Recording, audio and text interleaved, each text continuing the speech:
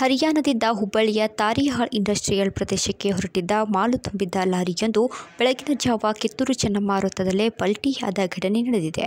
ಹರಿಯಾಣದಿಂದ ಬೆಳ್ಳುಳ್ಳಿ ಹಾಗೂ ಹಲ್ಲುಜ್ಜುವ ಪೇಸ್ಟನ್ನು ತೆಗೆದುಕೊಂಡು ಬಂದಿದ್ದ ಲಾರಿಯು ಚಾಲಕನ ಅಜಾಗರೂಕತೆಯಿಂದ ಪಲ್ಟಿಯಾಗಿದೆ. ಚಾಲಕ ಸಾಹುಲ್ ಖಾನ್ ಹಾಗೂ ಕ್ಲೀನರ್ ಮೊಹಮ್ಮದ್ ಸಹೀಬ್ ತಕ್ಷಣವೇ ಲಾರಿಯಿಂದ ಜಿಗಿದು ಪ್ರಾಣವನ್ನು ಉಳಿಸಿಕೊಂಡಿದ್ದಾರೆ.